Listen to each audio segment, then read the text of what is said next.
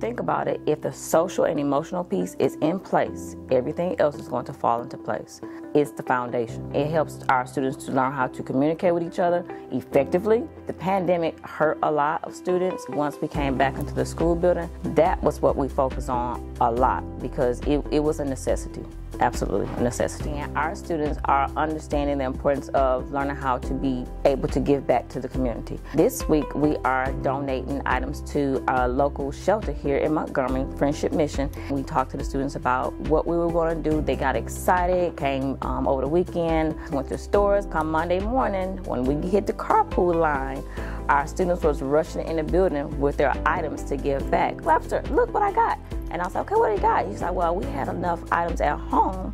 And my mom said it was okay that we can give it to someone because we're going to be a blessing to someone else. Our students here at Halcyon know how important it is to give back to the community because it's a blessing. And once you're blessing someone, it's going to automatically come back to you. And that's what we teach at our school here. One good thing we do in my in the counseling program here, we do a small group discussion. So students won't feel like they're identified or maybe embarrassed to ask ask a question, we may write down questions on cards. We'll put it in a box. And when I pull out the card, I'll read out what it says on the card, but I don't say who the card came from. So all the kids are given input on how they would handle that situation.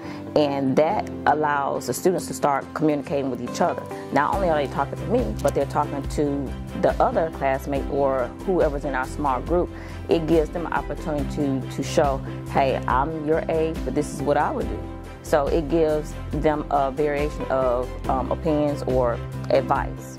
Being able to be with my babies. It's a community here and it's so warming when they walk in, in the building in the morning, they're saying, good morning, are you gonna play the good morning song? And because we do our morning announcements via Zoom every morning and I have the good morning song on there. We talk about the character word for the week and they just get really excited. But my most rewarding part of being here is the students telling me what they learned from a lesson or I'm able to see them actually doing what we discussed in that lesson. They're listening and that to me makes my heart smile because now I know that I'm laying a foundation and this is something they could take with them to middle school, to high school. And I feel like elementary with counseling is very important because these are life skills that our students need to take with them forever.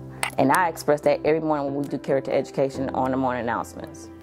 This is my home. This is where I'm going to be at. Counseling, it must be in schools. This is where they get the support. As long as I'm here at Halcyon, I'm going to give that support. If they want a hug, I'm going to give them a hug. If they want to talk, I'm going to sit on the floor and talk to them.